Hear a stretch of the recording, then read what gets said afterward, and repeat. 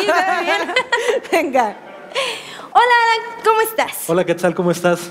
Yo muy bien, aquí con muchas dudas. Dígame, pregúntame. Bueno, fíjate, quisiera saber, eh, supongamos que vamos a, a una fiesta y que resulta que te gusta muchísimo una chica. Y además de todo, pues empieza a platicar contigo y tú te das cuenta de que te está coqueteando. Eh, ¿Me lo dirías? Eh, mira, Quetzal, yo lo que haría es, antes que otra cosa, cuando yo tengo una pareja, es darle su lugar. Yo no voy a estar coqueteando con otra gente cuando, cuando estás conmigo. Cuando estás conmigo, vas a estar conmigo, yo voy a estar contigo, te voy a estar apoyando, pero no, no pienso estar con otra, otra persona, aunque me coquetee, tú eres la única.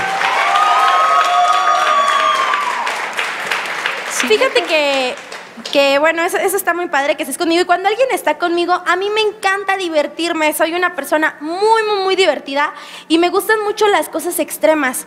Me gustaría que me dijeras tres cosas que nunca has hecho que harías conmigo, que sean muy divertidas. Ok, la primera sería saltar en paracaídas. Me Ajá. encantaría. Este, yo estoy dispuesto a hacer lo que sea. Eh, Créeme que, este, que también me gusta divertirme, me gusta lo extremo. Este, y tú dime lo que tú quieras hacer, yo lo hago. Sí, Lo sí, que pero tú tú quieras no hacer, yo lo hago.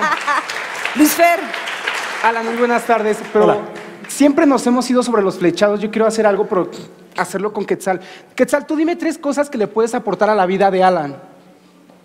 Tres cosas que le puedo aportar a la vida de Alan. Sí, es que siempre decimos a los flechados y nos atacamos con los flechados y esta vez no se lo quise preguntar, pero con él. Claro, Ok. se me hace muy bueno. Yo creo que puedo aportar reflexiones muy interesantes.